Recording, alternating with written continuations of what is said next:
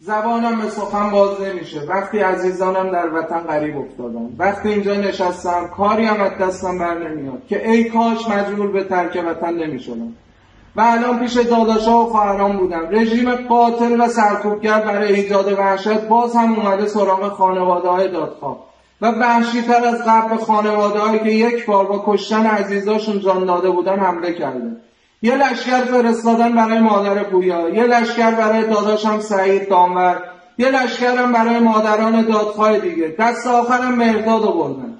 مردم ترسشون رو ببینید. این رژیم بیچاره تر از اونیه که فکرش رو کسی بکنه. فقط کافیه مردم بلند شن. اون وقت نه خامنه ای جرأت ایستادن داره نه مزدورای ریز و درشتش.